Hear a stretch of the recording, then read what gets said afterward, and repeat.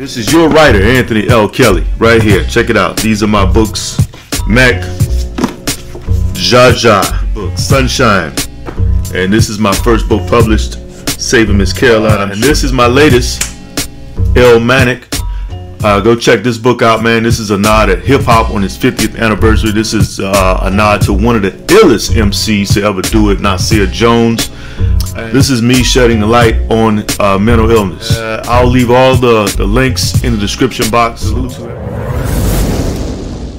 right, man. We've been keeping up with this whole Taxstone case where he was found guilty not too long ago. Well, sentencing came in today, and I'm gonna tell you this, man it's not looking good. Now, I'm sure people like Troy Ave is definitely going to rejoice over this, you know, sentence. Well, I'm to cut right to the chase, man.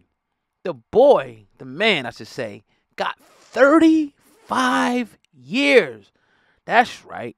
Daryl Campbell, podcaster known as Taxstone, got 35 years in prison for his role in a 2016 deadly shooting of Ronald McPhatter, who was rapper Troy Ave's bodyguard before he was killed on that day. Now, the announcement was made today following a trial that spanned, you know, um, several weeks that had the star witness, rapper Troy Ave, took the stand and, you know, pretty much, you know, told about what happened in the whole situation. Um, a lot of stuff was on camera as well, but, the, uh, you know, the evidence, the camera, and Troy Ave's testimony sealed the conviction and um, you know DNA evidence and all that, eyewitness accounts, et cetera, et cetera. But 35 years. I don't know if I seen that coming, but again, we got to remember that a, a, body killed somebody that night.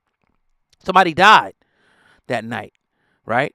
Somebody died and another man was injured. So that is what it is, man. I definitely wanted to make sure that I kept everybody updated on that particular case, what happened with that case. And you can remember, I came into this game like I was doing something prior, like in 2014, 2015. But when I officially entered into the hip hop arena, 2017, Taxstone was the top podcaster in the game. He was number one. It was no Gillie and Wallo. It was none of these people that you see now. Taxstone was the man that everybody went to at that point in time for podcasting. I'm like, who the hell is dude? Like Meek Mill, all these people going to him, like driving around in a Wraith doing a Meek Mill interview. And I respected his work, and I still respect his work. You know, um, I forget what he was with, the company that he was with, that he had to deal with. I forget the name of him, but you know, um, he, he was the man, and it's just sad that the situation that things had to end up like this, man. You live by the gun, you die by the gun, and um, he's gonna be old and gray before he gets out. That's you know, a pill, a pill could happen and all that, but it just don't look good. But with that being said, that's it, man. Taxstone scheduled to 35 years in prison or sentenced to 35 years in prison. Let me know what you think in the comment section of the video. It's your boy Ogot, man. I'm out of here. I got a lot of stuff to do, so I got to get to work. Peace.